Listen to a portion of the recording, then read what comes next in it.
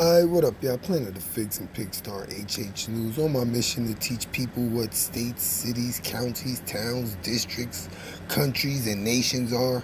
They're not places and they're not government. They're actually foreign corporations tricking people into business by posing as places in order to act like your government, but with quasi corporate powers.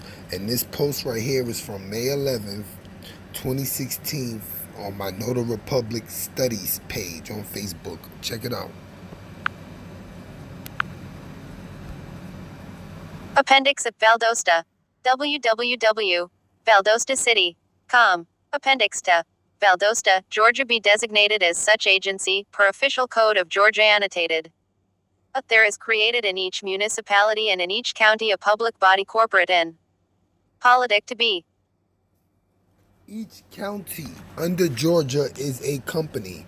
Therefore, each resident of those counties, they're companies. And like I told y'all before, the reason they basically have states as companies is because the people are now companies and you don't have any human rights. Whether you believe me or not, it's up to you.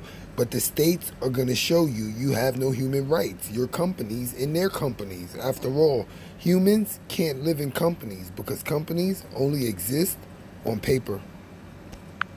With that being said, what you heard and saw was the content. For additional content, click the link in the description. Like, follow, share, subscribe, comment hit the bell, visit my community wall, and if you have time, go to www.amor-ica.com backslash TV. That's our Planet of Fakes too. We are the new umbrella. Planet up.